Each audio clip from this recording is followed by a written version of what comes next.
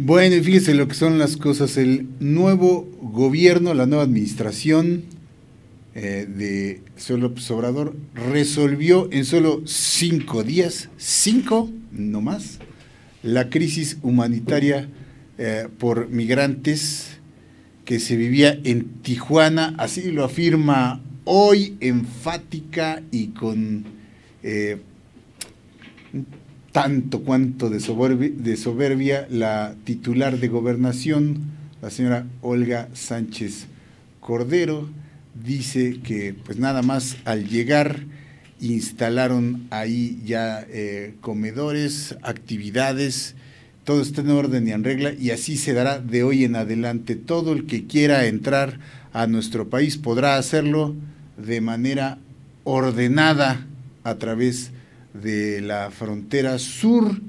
Dice que incluso en Estados Unidos están impresionados por lo que han hecho en los primeros días del nuevo gobierno. Y claro, en Estados Unidos están muy contentos de que se contenga por su patio trasero, como se decía antes, a nuestro país, a los migrantes.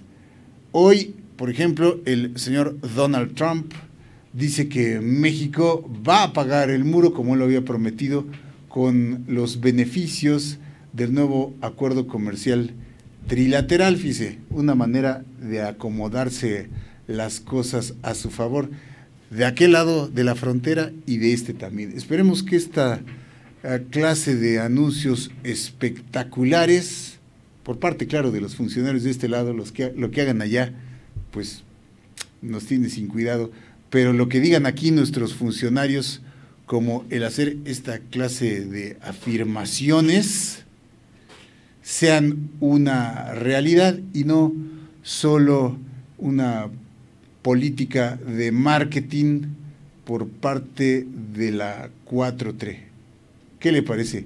En cinco días han resuelto una de las problemáticas que heredó la pasada administración. Enhorabuena.